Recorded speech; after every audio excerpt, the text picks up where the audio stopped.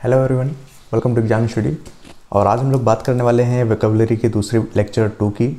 और जैसा कि आप जानते हैं कि ये एक स्प्रिंटर बैच है, जो कि S S C C H S L दो हज़ार बीस यानी कि जो 2021 में एग्ज़ाम होगा हमारा, उसके लिए काफ़ी ज़्यादा हेल्पफुल वीडियो होगा ये। और इसमें हम लोग एकदम स्लो और बेसिक से पढ़ेंगे। और इसमें आपको डेली वीडियो मिलेगा मॉर्निंग में आठ बजे। तो अपने नोट्स में लिखते रहिए और पढ़ते रहिए। ये आपको काफ़ी ज़्यादा हेल्प करेगा। जो भी आपके क्लोज टेस्ट वगैरह होते हैं कंप्रीहेंशन होते हैं और वो कैप वोकेबलरी वाला जो पोर्शन होता है, उसमें काफ़ी ज़्यादा आपको हेल्प मिलेगी। तो चलिए वीडियो को शुरू करते हैं। पहला हमारा वर्ड लिखा हुआ है फिजिबल फिजिबल मतलब क्या होता है? फिजिबल मतलब होता है ऐसी कोई चीज़ जो पॉसिबल हो। उसके लिए हमारा वर्ड आता है फिजिबल आप पॉसिबल भी बोल सकते हैं या आप बोल सकते हैं प्लॉजिबल या तो फिर हमारा एक वर्ड आता है वायबल इन सभी का मतलब होता है ऐसी चीज़ जो पॉसिबल हो, यानी कि वो प्रैक्टिकल हो और साथ ही प्रॉफिटेबल भी हो. तो ये इन दोनों के कंबाइंड की अगर वर्ड की बात करें तो फिजिबल या तो फिर हमारा प्लॉजिबल या वायबल वर्ड यूज़ किया जाता है. नेक्स्ट वर्ड है प्लमेट प्लमेट मतलब क्या होता है? प्लमेट मतलब होता है यानी कि जब कोई चीज़ शेयर वगैरह, जैसे शेयर होते हैं, बहुत तेज़ी से धड़ाम से नीचे गिर जाते हैं, यानी कि बहुत ज़्यादा डिक्रीज़ हो जाते हैं और डिफ्लेशन आ जाता है उसमें तो उसके गिरने के लिए हमारा वर्ड आता है प्लमेट अगला हमारा वर्ड लिखा हुआ है बोर्स। बोर्स मतलब क्या होता है? बोर्स मतलब होता है जो हमारा स्टॉक एक्सचेंज होता है। उसे बोलते हैं, जैसे कि इंडिया का बीएससी है, बॉम्बे स्टॉक एक्सचेंज। तो बोर्स मतलब होता है जो स्टॉक एक्सचेंज होता है, उसके लिए बोलते हैं। अगला हमारा वर्ड लिखा हुआ पंटर पंटर मतलब क्या होता है? पंटर या बुकी जो हमारा वर्ड है, ये हमारा सट्टेबाज के लिए आता है। जो सट्टेबाज होते हैं, जो सट्टा लगाते हैं, उनके लिए हमारा पंटर या बुकी वर्ड यूज़ किया जाता है। बी डबल ओ के आई ई बुकी मतलब सट्टेबाज। अगला हमारा वर्ड लिखा हुआ है रिग्ड रिग्ड मतलब क्या होता है? रिग्ड वैसे तो कई सेंस में आता है। एक तो आता है रिग्ड मार्केट के लिए और एक आता है रिग्ड इलेक्शन के लिए। इलेक्शन वाला जो है वो बहुत ज़्यादा इंपॉर्टेंट है। रिग्ड इलेक्शन मतलब होता है जो धांधली से भरले, धांधली से जो भरे हुए चुनाव होते हैं, उसे बोलते हैं रिग्ड इलेक्शन जिसमें बहुत ज़्यादा धांधली हुई हो, यानी कि गलत तरीके का इस्तेमाल हुआ हो, गलत तरीके से यूज़ हुआ हो, उसे बोलते हैं रिग्ड इलेक्शन और रिग्ड मार्केट भी उसी की बोलते हैं, जो धांधली से भरा हुआ मार्केट हो, उसे बोलते हैं। अगला हमारा वर्ड लिखा हुआ है स्पेकुलेटर स्पेकुलेटर मतलब क्या होता है? स्पेकुलेटर मतलब होता है जो शेयर ब्रोकर होते हैं हमारे। यानी कि शेयर ब्रोकर कौन होते हैं? जो स्पेकुलेट करते हैं, यानी कि कयास लगाते हैं, या अनुमान लगाते हैं कि जो शेयर है वो हाई हाई होंगे या लो होंगे। यानी कि बढ़ेंगे या घटेंगे, उसके लिए जो कयास लगाते हैं, अनुमान लगाते हैं, उसे बोलते हैं स्पेकुलेटर यानी कि शेयर ब्रोकर नेक्स्ट वर्ड है हैमरिंग द मार्केट यानी कि अ काइंड ऑफ़ मैनिपुलेशन यानी कि आप बोल सकते हैं कि जानबूझ के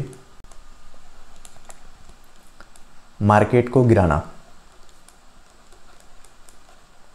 जानबूझ के मार्केट को गिराने के लिए hammering the market word use किया जाता है. वेंचर कैपिटल मतलब क्या होता है?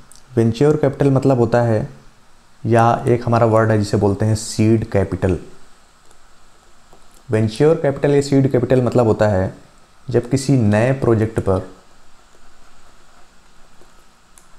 पैसा इन्वेस्ट किया जाता है तो उसे बोलते हैं वेंच्योर कैपिटल या हमारा सीड कैपिटल नेक्स्ट वर्ड है स्लीपिंग पार्टनर स्लीपिंग पार्टनर मतलब क्या होता है?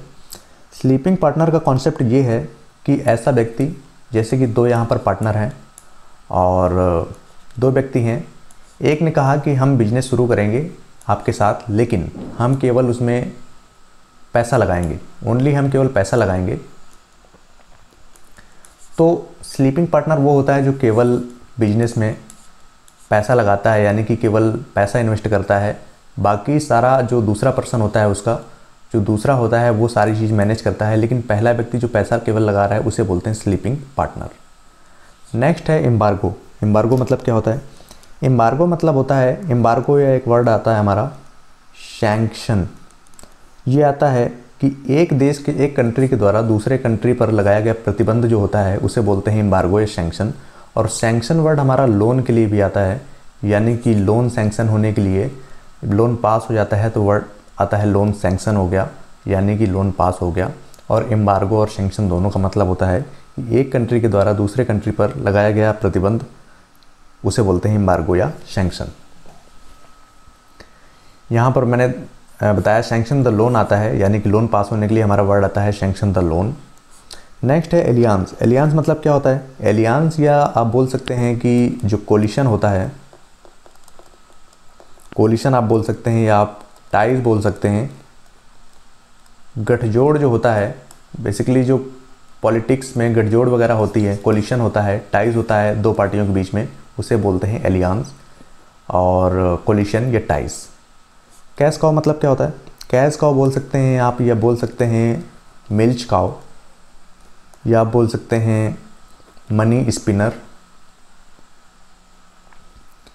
इन सभी का मतलब होता है ऐसी एक कंपनी ऐसी कंपनी जो हमेशा प्रॉफिट देती है, यानी कि फ़ायदा देती है, उसे बोलते हैं कैश काउ, या milch cow M I L C H या बोलते हैं मनी स्पिनर।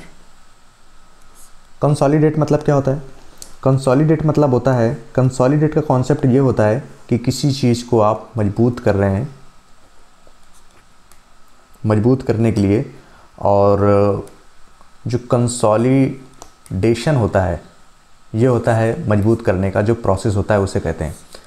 कंज्यूमर ड्यूरेबल्स मतलब क्या होती हैं? जो हमारी डेली की जो वस्तुएँ होती हैं, यानी कि आप बोल सकते हैं रोज़मर्रा की वस्तुएँ, उसे बोलते हैं कंज्यूमर ड्यूरेबल्स अगला है सब्सिडी सब्सिडी मतलब क्या होता है? सब्सिडी मतलब जो हमें डिस्काउंट मिलता है, या आप सीधे तौर पर कह सकते हैं छूट। गवर्नमेंट कई तरह की सब्सिडी देती है, जैसे कि गैस पर एलपीजी वगैरह में जो सब्सिडी देती है और फार्मर्स को भी बहुत ज़्यादा स्कीम, कई सारी स्कीम चलती हैं, उसमें सब्सिडी देती है। तो सब्सिडी मतलब होता है, जो छूट होती है, जैसे कि सीड्स में सब्सिडी दी जाती है बीज में कि आप जो जो फार्मर हैं वो बीज खरीद लें और उनको सब्सिडी दी जाएगी, यानी कि छूट दी जाती है, उसे सब्सिडी बोलते हैं। बार्टर मतलब क्या होता है? बार्टर मतलब होता है कि क्या होता है कि बार्टर करना या स्वैप करना, या बोल सकते हैं एक्सचेंज करना आपने देखा होगा जब कभी आप शॉपिंग करने जाते हैं तो उनके पास एक छोटी सी मशीन होती है और जिसमें आप कार्ड लगाते हैं और मनी ट्रांसफ़र हो जाती है उनके अकाउंट में। तो ये स्वैप मशीन उसे बोलते हैं। यानी कि बार्टर का जो कॉन्सेप्ट है वो एक्सचेंज करना, यानी कि आप किसी एक चीज़ के बदले दूसरी चीज़ परचेज कर रहे हैं, उसे बोलते हैं बार्टर। लाइबिलिटी मतलब क्या होता है? लाइबिलिटी मतलब होती है जो आपकी ज़िम्मेदारी होती है। ज़िम्मेदारी के लिए हमारा वर्ड आता है लाइबिलिटी और नेक्स्ट हमारा वर्ड लिखा हुआ है वोलाटाइल वोलाटाइल मतलब क्या होता है? वोलाटाइल मतलब होता है फ्लक्चुएशन फ्लक्चुएशन यानी कि उतार या चढ़ाव. आपने देखा होगा मार्केट में बहुत ज़्यादा उतार चढ़ाव होता है फ्लक्चुएशन होता है. यानी कि ऐसी मार्केट जो फुल ऑफ़ फ्लक्चुएशन फ्लक्चुएशन से भरी हुई हो, उसे वोलाटाइल मार्केट कहते हैं. और नेक्स्ट हमारा वर्ड है एक्वायर एक्वायर मतलब होता है किसी चीज़ का टेक ओवर करने, करना. यानी कि टेक ओवर करना यानी कि अधिग्रहण कर लेना।